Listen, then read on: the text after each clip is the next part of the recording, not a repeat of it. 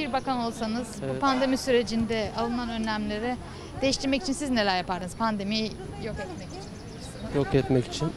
Şöyle şu aldıkları önlemler bence yani yeterince olmuyor. Ee, ama şöyle bir durum daha var. Şu an insanlar mesela işine çıkamıyor, işe gidemiyor. Mesela belirli bir geliri gelmiyor. Bence destek vermeleri lazım bu konuda. Ondan sonra e, doktorların evlere gitmesi lazım. Yani mesela virüs olan insanları hastaneye getirmemeleri lazım. Dok- doktorlar eve gidip orada tedavisini uygulaması lazım. Benim şeyim bu. Vatandaş dinlemiyorsa kendi bilir. Cezayı harfiyen uygular, uygularım. Hem de içeri atmak kaydıyla. Madem ki biz bu salgından kurtulacağız, tüm cemi millet, cemi cümlesi bu pandeminin kalkmasını istiyorsa kurallar neyse aynen hepsine uyması şart. Ya sen uymadıktan sonra benim günahım ne? E kimisi diyor ki pandemi yok diye. Ya pandemi niye olmasın ki ya? Adamı geçen günü gördüm. Hap içtim diye. Sesim kesildi diye. Ne malum onun sesinin kesildi. Pandemide yakalanmadı.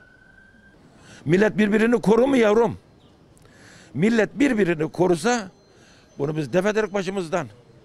Kimisi maske takmıyor. Aa şimdi ben maske takıyorum. Gözlüğüm hemen buharlaşıyor. Ne yapayım ben? Maskeyi aşağı indirmemek için gözümü gözümden alıp öyle gideyim işimin başına. Buluyorum buluyorum iyi. Çok iyi.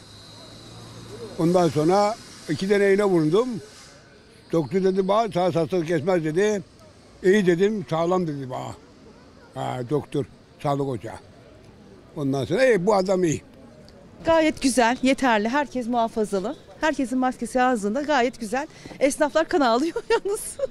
Ya tedbirler yeterli ama insanlarımız uymuyor.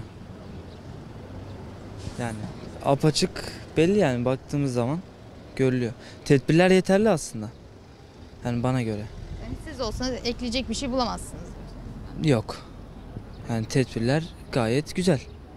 Alına, alınabilir tedbirler güzel yani ama hani sorumluluk burada bize düşüyor. Yani biz bu sorumluluğu yerine getirmek zorundayız ama getirmiyoruz diyelim. Ya bulmuyoruz ama o kadar oluyor tabii ki. E aşımız bir yandan geliyor, bir yandan oluyor. E yeterli görüyoruz tabii ki. Değil ama yeterli oluyor. Ya öneri olarak değil de kurallar şöyle ki bizlere kalmış bir sorun bu aslında.